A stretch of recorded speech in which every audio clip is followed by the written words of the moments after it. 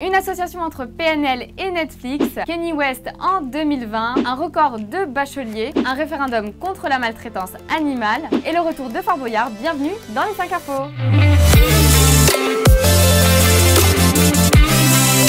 On commence notre tour hebdomadaire des 5 infos avec PNL. En effet, les deux frères Nos et Ademos ont réservé une très belle surprise à leurs fans. Dimanche 5 juillet, le groupe devait entamer sa nouvelle tournée intitulée Deux frères à Bercy. Une tournée qui porte le même nom que leur dernier album, certifié disque de platine. Mais la tournée a été reportée à cause du coronavirus. Du coup, les deux frères se sont retournés vers Netflix pour diffuser leur premier concert. C'était en 2017 après la sortie de leur premier album intitulé Dans la légende. Plus qu'un autre consolation, c'est une véritable surprise qui a affolé tous leurs fans avant la reprise des concerts. On passe maintenant aux chiffres de la semaine et c'est un record qui n'est pas prêt d'être délogé puisque 91,5% des candidats au bac ont été admis avant même le rattrapage. Bon pour moi le bac c'est loin, Enfin, pas tant que ça, mais ça reste quand même un record historique. Par rapport à 2019, il s'agit d'une hausse de 13,8% comme l'annonce le ministre de l'Éducation. Sur Twitter, on a remarqué pas mal de tweets qui disaient « Le bac cette année, il vaut rien, il est en ton quart, et patati, et patata ». Bon, ok, le contrôle continu en a sûrement sauvé quelques-uns, mais il faut rester zen les amis, l'essentiel c'est juste de l'avoir. Bonne chance pour ceux et celles qui passent au rattrapage, d'ailleurs, je vous envoie des bisous, vous en avez besoin.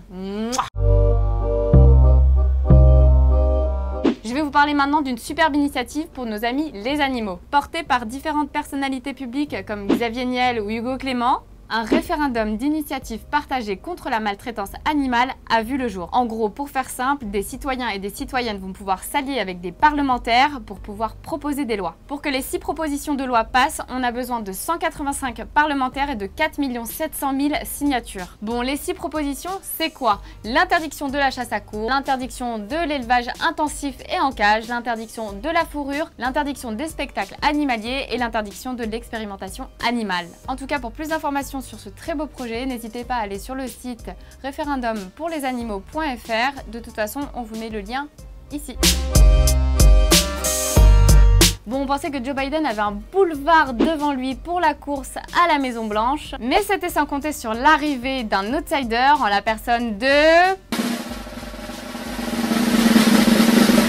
Kenny West Et ouais, chez nous on a Bigard et Afida Turner et chez eux ils ont quand même Mr. Kim Kardashian. Bon ok, dit comme ça ça a l'air plus classe mais pas forcément, parce que s'il va au bout, bah il gagnera sûrement pas, mais il va prendre toutes les voix destinées à Joe Biden et potentiellement ben, faire réélire Trump. Et ça, on lui dira pas merci. Et dans sa course, il a de très gros soutiens, et non, je ne fais pas référence au postérieur de sa femme, même si c'est vrai qu'elle le soutient beaucoup. Mais il peut compter aussi sur son ami, le richissime Elton Musk, à la tête de Tesla. Et comme tout bon candidat à la Maison Blanche, il a des casseroles, des petits problèmes psychiatriques, des déclarations un peu ambiguës sur l'esclavage, son ancien soutien à Donald Trump. Wouh, que ça va être bien cette élection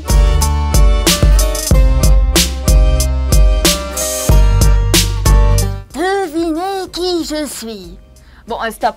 Euh, moi j'en peux plus, il fait trop chaud les gars. Je suis une émission qui a été créée en 90 et qui a été créée par un homme au double prénom. Je fête donc cette année ma 31e saison. Mon lieu de tournage c'est une ancienne prison bâtie sous Napoléon. il vous faudra un passe-partout pour pénétrer dans mes cellules. Le but est d'amasser un certain nombre de clés, de récolter des mots-clés pour résoudre des énigmes, pour enfin entendre à la fin Felindra, tête de tigre Et ainsi récupérer le magot. Alors, vous avez deviné facile? Eh bah ouais, c'est Fort Boyard qui revient samedi pour une toute nouvelle saison animée par Olivier Mine. Et cette année, il sera rejoint par Cyril Ferraud, l'animateur de Slam, qui va occuper une cellule.